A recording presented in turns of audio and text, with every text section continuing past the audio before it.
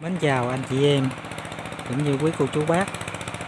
Hôm nay tôi đang bán một biệt thự vườn. Biệt thự thì à, tổng diện tích xây là khoảng 300 mét vuông. Ở trên lầu là gồm một phòng thờ, ba phòng ngủ Và một bên ăn L hai à, nhà vệ sinh. Còn về phần trệt thì có à, một phòng khách, một phòng bên ăn L, một phòng buồn Và một nhà ăn hai nhà vệ sinh. Tổng diện tích xây là khoảng 300 mét vuông là có 200 thổ cư. Còn về phần đất là ngang 50 mét, sâu 45 nở hậu tổng diện tích là 2.600 mét vuông. Trong bìa là 1.600 mét vuông.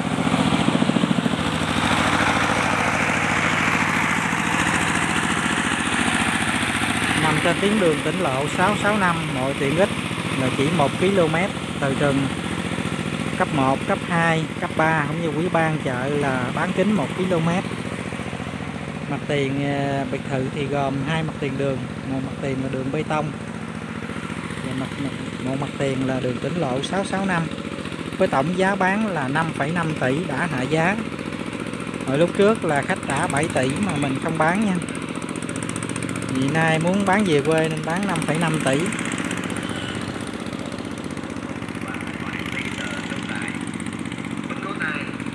Biệt thự thì ờ, có rất là nhiều cây ăn quả. Và phích ờ, phù hợp cho anh chị em cũng như cô chú bác. Mình về đây là mình kinh doanh buôn bán hoặc mình nghỉ dưỡng đều ok hết nha.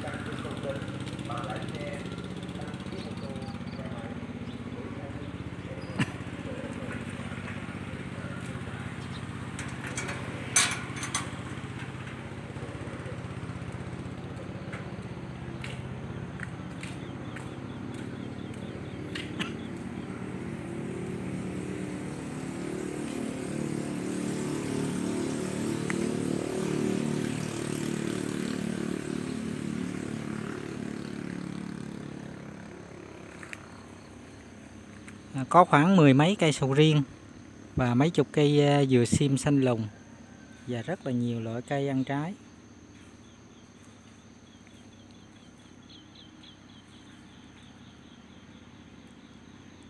Rồi mình xin nhắc lại là thửa đất này à, có tổng diện tích là 2.600 mét vuông trong bìa là 1.600 mét vuông trong đó có là 200 thổ cư và một căn biệt thự vườn. À, nằm trên tuyến đường tỉnh lộ 665 có chiều ngang mặt tiền là 50 m sâu 45 nở hậu. Với tổng giá bán là 5,5 tỷ. Có bớt chút lọc cho anh chị em thiện chí nha. Địa chỉ của cái biệt thự vườn này là ở xã Iaga, huyện Chư Bờ Rông, tỉnh Gia Lai.